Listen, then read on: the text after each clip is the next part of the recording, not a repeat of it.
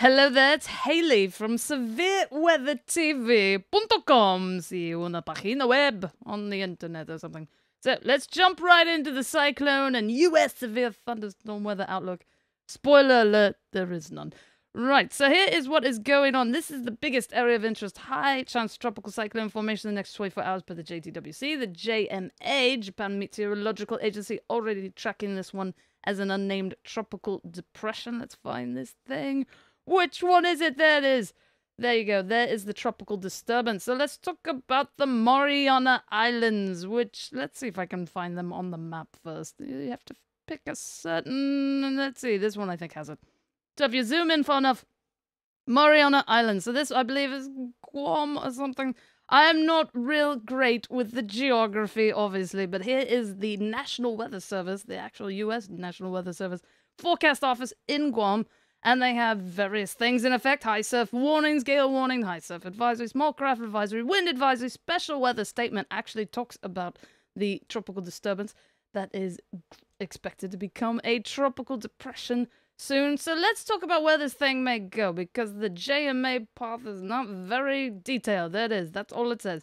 So we'll look at the ECMWF model. This skips ahead in 24 hour increments. So this is where the ECMWF thing is showing that this thing may go. So basically, it's going to, per this model run, basically book in parallel right next to the islands and probably cause lots of problems, at least in the terms of rain, winds, depending on how strong it is.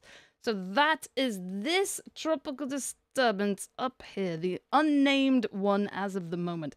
So elsewhere, let's turn this back on and zoom out.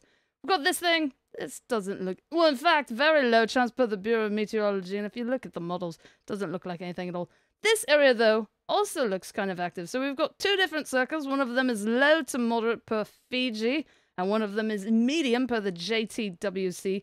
So let's examine this area. There's actually two things to kind of keep an eye on. So this thing over here does look like it turns into something, and then this over here that's not even being...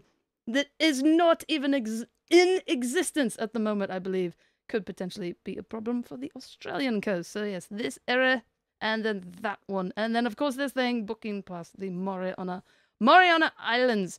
So that is what is happening in the land of tropical cyclones, in the land of US severe thunderstorm weather. It's back to being winter, which is to say nothing.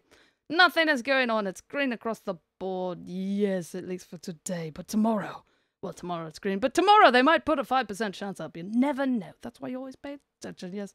SevereWeatherTV.com is a website that you should visit or not, where there's stuff down at the bottom that you can click on. As is typical of most websites, they tend to have links. Yep, it's true. And that is it for today. Yeehaw.